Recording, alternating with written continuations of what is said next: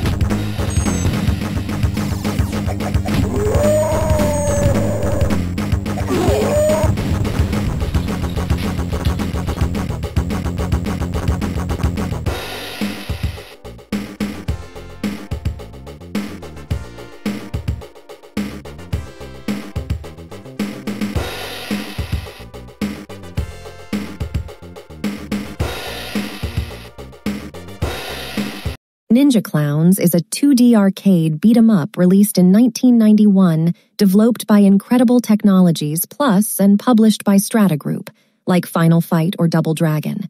The player controls a circus clown and fights against various enemies, like angry lawyers, bearded women, mimes, zombies, or cops. Clown is a hero and must stop evil Twisto, who has transformed good citizens into evil zombie clones. He can use several weapons, like boxing gloves, pies, or sprays.